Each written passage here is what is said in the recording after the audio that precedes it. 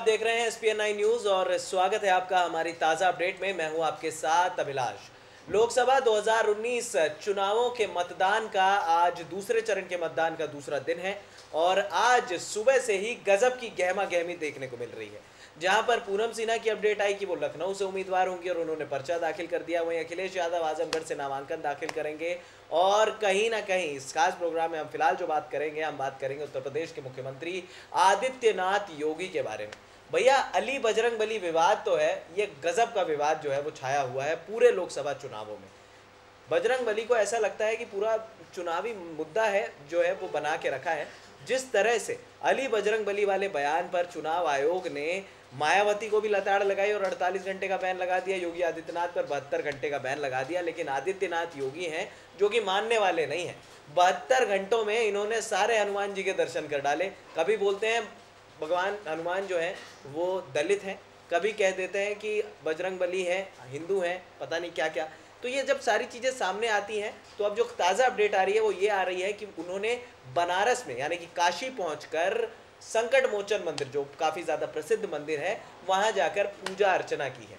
यानी कि बहत्तर घंटे बैन लगने के बावजूद योगी आदित्यनाथ जो है वो बजरंग बली को छोड़ने के लिए तैयार नहीं है। इस बार लगता है कि बजरंग बली को अपने बगल में बिठाकर वो ये बताना चाहते हैं कि बजरंग बली मेरे साथ है भैया, मुझे वोट करो वरना बजरंग बली माफ़ नहीं करेंगे।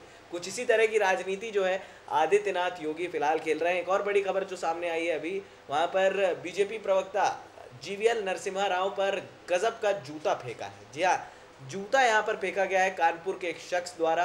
वो जूता आखिर लगा नहीं, मुँह पर थोड़ा सा हट गए थे जीवीएल नरसिम्हा राव। बताया जा रहा है कि साध्वी प्रज्ञा के लिए वो प्रेस कॉन्फ्रेंस जो है वो रखी गई थी कि उनको टिकट कहाँ से दिया जाएगा। इस वजह से बीजेपी प्रवक्ता के लिए जिस तरह से उन पर जूता फेंका गया है, फ़िलहाल शख्स के नाम का यहाँ पर कोई खुलासा नहीं हुआ है, लेकिन बताया जा रहा है कि शख्स का नाम शक्ति भार्गव है, उसके कार्ड से पता लगा है और ज़्यादा जानकारी नहीं मिल पाई है। वो S P N nine news आप तक पहुँचाता रहेगा। लेकिन यहाँ पर फ़िलहाल अगर हम बात करें तो आदित्यनाथ योगी की बात कर लेते हैं। आपको बता दें कि सबसे पहले तो जब इन पर बैन लगा तो ये लोगों के पास गए। उसके बाद ये कल जो है, कल अयोध्या में थे, रामलला की नगरी में वहाँ पर लोगों से मुलाकात की छोटे छोटे घर देखे और उसके बाद आज पहुँच गए संकट मोचन मंदिर। तो किस तरह की राजनीति देखी जा रही है? अब कोई सवाल भी नहीं उठा सकता, कोई सवाल पूछेगा कि भैया आप क्यों गए थे? तो कहेंगे, भैया मैं मंदिर के दर्शन करने गया था, मीडिया वहाँ पर पहुँच गई। अब भैया आप जब इस तरह की राजनीति करेंगे तो मीडिया आप तक पहुँचेगी ही पहुँचेगी। जब आप चुनाव जीतने के लिए अली बजरंग बली का इस्तेमाल कर सकते हैं, बजरंग बली को दलित बता सकते हैं तो भैया आप कुछ भी कर सकते हैं। कम से कम भगवान को छोड़िए। जनाब, विकास की बात कीजिए। विकास की बात तो अभी तक यहाँ हुई नहीं है। यहाँ पर सारे मुद्दों पर बात हुई है। कोई किसी पर मानहानि का केस ठोक रहा है। सुशील मोदी साहब अभी राहुल गांधी पर मानहानि का केस ठोक रहे हैं और कहीं पर आज़म खान की ज़ुबान फिसल रही है।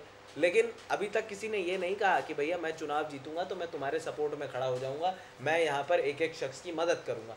ये किसी ने नहीं किया।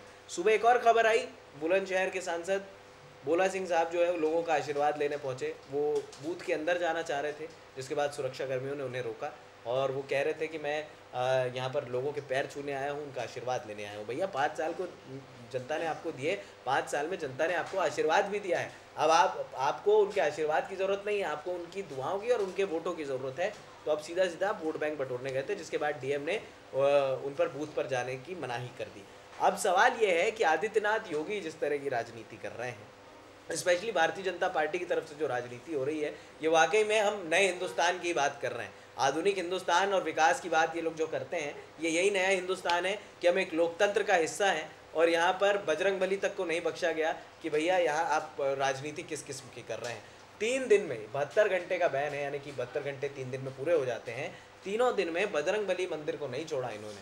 यहाँ पर साफ़ तौर पर हनुमान जी को साथ में लेके चल रहे हैं योगी जी और कह रहे हैं कि भैया हनुमान जी मेरे साथ खड़े हैं तो फिर मेरी पार्टी को हराने वाला कौन है? फ़िलहाल देखना दिलचस्प होगा कि राजनीति और कितना गर्माती है और क्या नए नए खुलासे होते हैं, लेकिन मज़ा आ रहा है इस लोकतंत्र में।